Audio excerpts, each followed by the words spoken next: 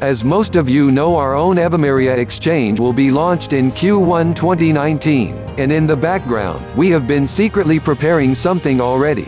This was not on our roadmap but we prefer to overdeliver. We will be starting the votes for free listings of projects this month. It will start in the month of October, so you can all vote for your favorite projects to be listed on our exchange. You can even add a suggestion. Details on the website evimeria.io.